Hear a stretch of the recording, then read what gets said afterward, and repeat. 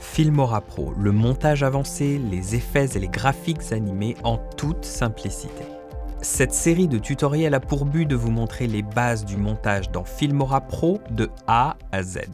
Bonjour tout le monde, moi c'est Jonathan et aujourd'hui nous allons ensemble fouiller un peu plus dans les options d'édition avancée de Filmora Pro. Nous en apprendrons plus concernant les options d'insertion ou d'incrustation de clips, les options de piste, les outils dans le panneau de l'éditeur ainsi que l'option de supprimer et raccorder.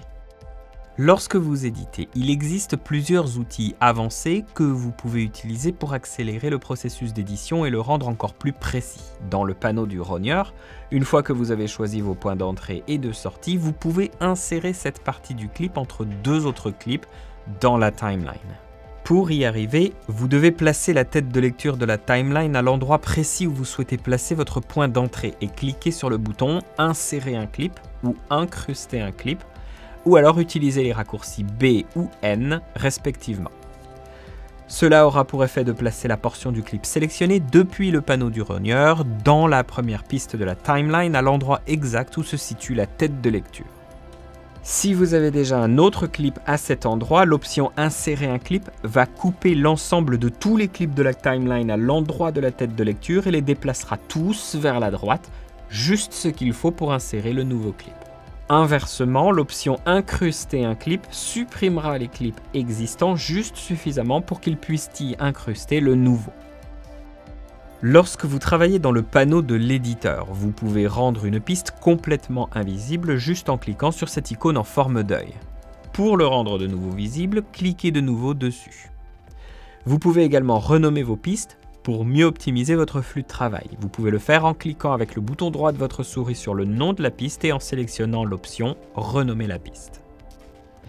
Vous pouvez également ajouter de la couleur à cette piste pour l'identifier plus rapidement. Même chose en faisant un clic droit avec le bouton de votre souris sur le clip et en vous rendant dans le menu des libellés, choisissant ainsi la couleur souhaitée.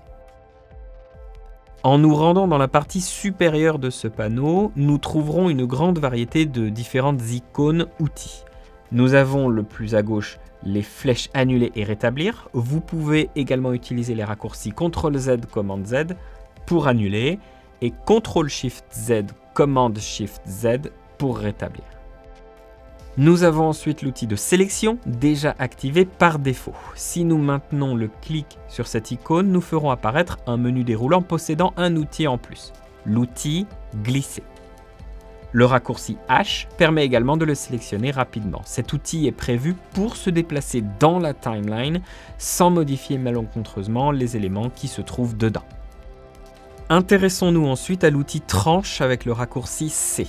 Avec cet outil sélectionné, nous pouvons cliquer sur n'importe quel clip audio ou vidéo pour le trancher. Si nous souhaitons que la coupe tranche l'ensemble des clips présents sur toutes les pistes, il suffit de maintenir la touche Alt en cliquant dessus. Nous avons ensuite l'outil Déplacer dessous, activable par le raccourci Y. Cet outil nous permet de faire glisser les points d'entrée et de sortie du clip sans avoir à changer sa position ou sa durée dans la timeline. En cliquant et en glissant à gauche et à droite, nous opérons le changement.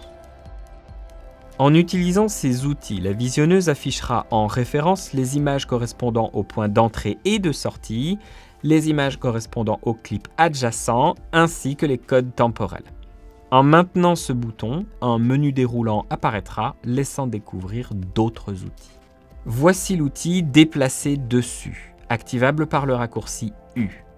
Cet outil vous permet de déplacer un clip dans la timeline en adaptant les clips adjacents, donc dans la même piste, de manière à éviter de créer des trous dans votre montage. Nous avons ensuite l'outil propagation. Cet outil vous permet de rogner un clip en maintenant la position originale de son point d'entrée dans la timeline et en décalant tous les clips situés directement à droite pour éviter de laisser des trous ou des superpositions indésirables dans votre montage. L'outil de modification compensée, raccourci E, vous permet de modifier la coupe entre deux clips adjacents sans rien altérer d'autre. L'outil d'allongement compensé, raccourci S, nous laisse étirer ou contracter un clip dans la timeline, modifiant par conséquent sa vitesse plutôt que ses points d'entrée et de sortie. L'icône suivante vous permet d'activer ou de désactiver l'option de magnétisme. Par défaut, lorsque vous éditez les pistes, les éléments auront tendance à se coller entre eux automatiquement, notamment les clips contre la tête de lecture ou contre d'autres clips. Ce processus aura pour effet de faire apparaître des lignes rouges aux endroits magnétisés.